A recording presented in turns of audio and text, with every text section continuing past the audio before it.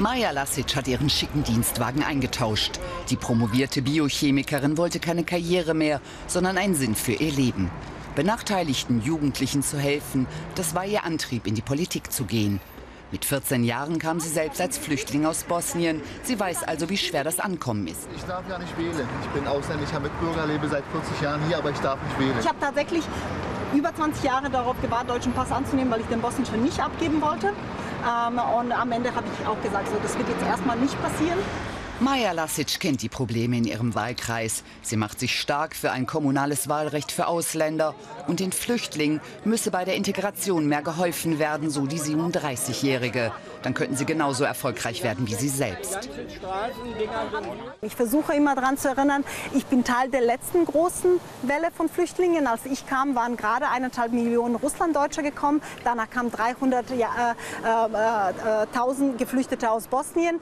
Und damals hat Deutschland Deutschland es auch geschafft. Und viele von uns sind ein guter Bestandteil dieser Gesellschaft geworden, so wie ich auch. Ihre bosnischen Nachbarinnen sind extra gekommen, um auf der Wahlkampfveranstaltung ihrer Landsmännin den regierenden Bürgermeister von Berlin zu sehen. Durch Maja Lasic fühlen sie sich jetzt eher als Teil der Berliner Politik. Das gefällt allerdings nicht allen. Was mir immer wieder begegnet, leider, ist die Aussage, Sie können so lange deutschen Pass haben, wie Sie wollen, Sie werden nie Deutsche sein.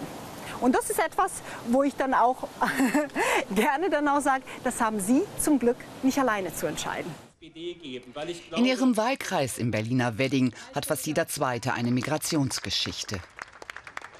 Also ich bin seit 11 Uhr, 11 Uhr und jetzt geht es weiter zu Tür zu Tür. Seit neun Monaten macht sie Wahlkampf für die SPD. 30.000 Wahlberechtigte hat ihr Wahlkreis. Bis Samstagabend wird sie an 7.500 Wohnungstüren geklingelt haben. Das einstige Flüchtlingskind ist optimistisch. Viele identifizieren sich mit ihr und hoffen für sie, dass sie das nächste Kapitel in ihrer Erfolgsstory aufschlagen kann.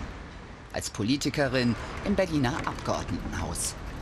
Ein entscheidendes Element ist, man muss Menschen mögen und den Kontakt zu Menschen mögen. Sonst ist man als Abgeordneter fehl am Platz.